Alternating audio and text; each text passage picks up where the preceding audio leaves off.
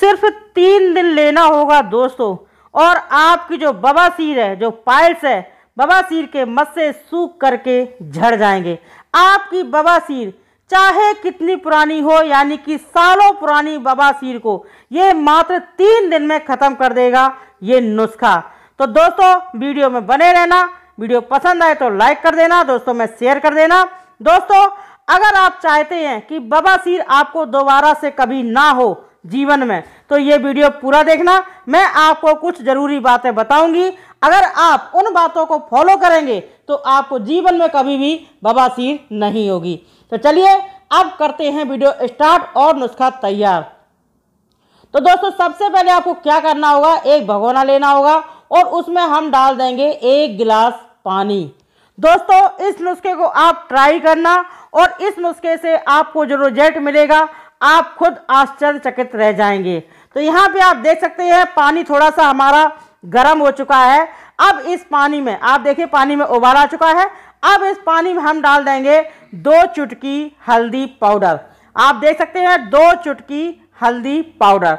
अगर दोस्तों आपको हल्दी पाउडर शुद्ध मिल जाए, सबसे बेस्ट है। अगर आप घर पर मिक्सी में पीस करके तैयार कर लें तो सबसे बेस्ट है। क्योंकि दोस्तों शुद्ध चीज़ें बहुत जल्द फ़ायदा करती हैं। दोस्तों, ये जो हल्दी पाउडर है, इसमें होता है एंटीबैक्टीरिया गुड़ और एंटीबायोटिक गुड़ और एंटी इफ्लेमेंट्री गुड़।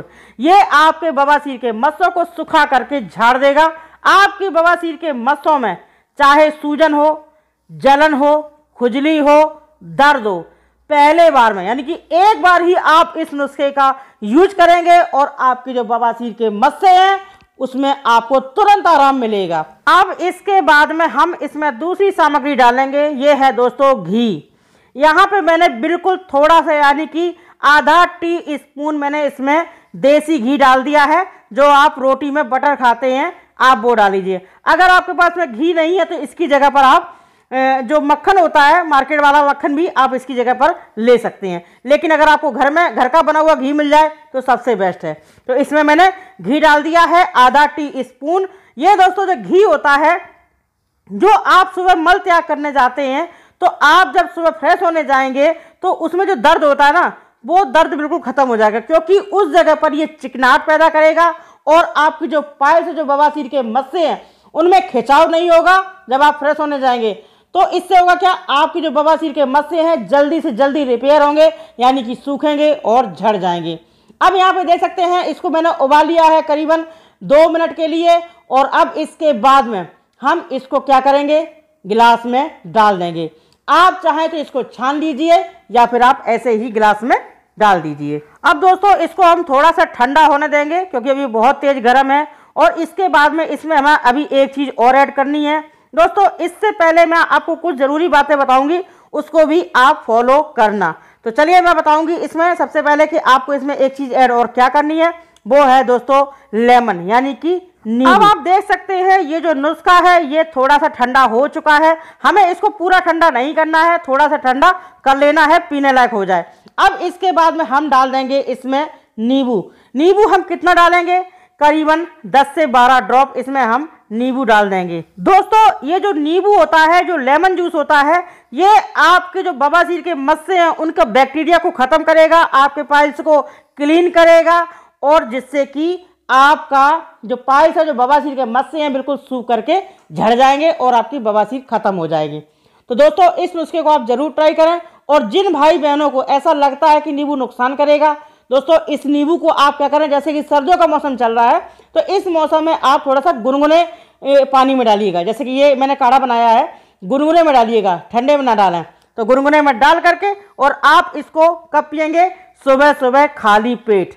सुबह खाली पेट आपको इसको पी लेना है। अगर आप नींबू थोड़ा और ज़्यादा सब पी सकते हैं तो आप इसमें आधा नींबू का जूस मिला सकते हैं।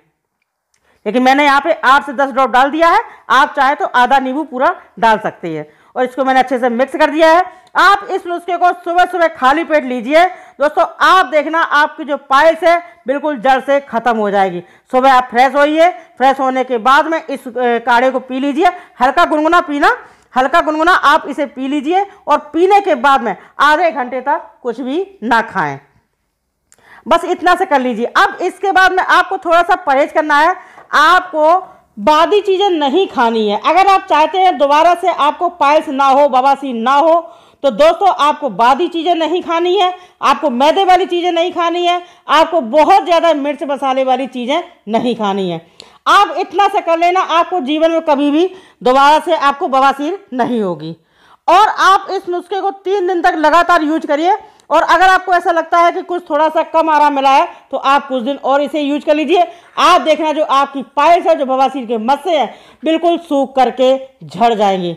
दोस्तों, ये कमाल का नुस्खा है। आपकी पाइल्स बिल्कुल अच्छी हो जाएगी। वीडियो पसंद आए वीडियो को लाइक करें, दोस्तों में शेयर करें।